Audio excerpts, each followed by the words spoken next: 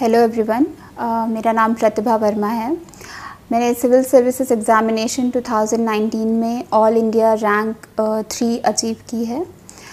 Uh, मैं originally uh, Sultanpur Uttar Pradesh से belong करती हूँ। उसके बाद मैंने 2014 में आईआईटी दिल्ली से ग्रेजुएशन कंप्लीट किया था। मैंने इंजीनियरिंग फ़िज़िक्स से बीटेक किया था। उसके बाद दो साल के लिए मैंने प्राइवेट सेक्टर में काम किया था। फिर 2016 में मैंने वहाँ से रिज़ाइन करके डिसाइड किया कि मुझे कम्प्लीटली इस एग्ज़ामिनेशन के लिए फ़ोकस करना है। फिर uh, 2018 सिविल सर्विसेज़ एग्ज़ामिनेशन में मुझे 489 रैंक आई थी। उसके बाद मुझे इंडियन रेवेन्यू सर्विस अलॉट किया किया गया था। लास्ट ईयर आई ज्वाइन मैंने इंडियन रेवेन्यू सर्विस ज्वाइन कर ली थी और उसके बाद फिर से मैंने अपने थर्ड अटैम्प्ट uh, के लिए प्रिपरेशन स्टार्ट कर दी। मेरे थर्ड अटैम्प्ट में इस बार मुझे थर्ड रैंक मिली है। आज मैं डेली नॉलेज ट्रैक पर अपनी प्रिपरेशन uh, स्ट्रैटेजी के बारे में आप सबको बताना चाहती हूँ।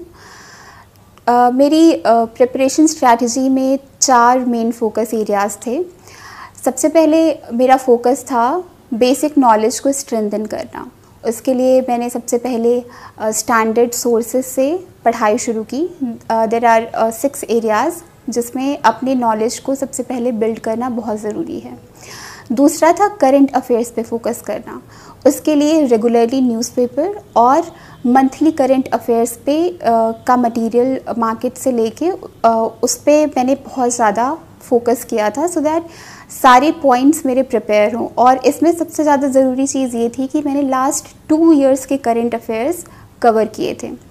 तीसरा था प्रैक्टिस प्रैक्टिस करना बहुत ज़रूरी है इस एग्ज़ाम के लिए, चाहे वो प्रिलिम्स के क्वेश्चंस आंसर्स हों, चाहे वो मेंस की आंसर राइटिंग हो या पर्सनालिटी टेस्ट के लिए क्वेश्चन आंसर प्रैक्टिस करना हो। तो इन सब चीज़ों के लिए एक प्रैक्टिस uh, बहुत ही ज़्यादा इंपॉर्टेंट पार्ट है। और चौथा मेन पॉइंट था रिविज़न तो इस एरिया में मैंने uh, अपने मटेरियल्स अपने सोर्सेज लिमिटेड रखे थे और मेरा फोकस ये था कि उन्हीं सोर्सेज को बार बार रिवाइज़ करते जाओ।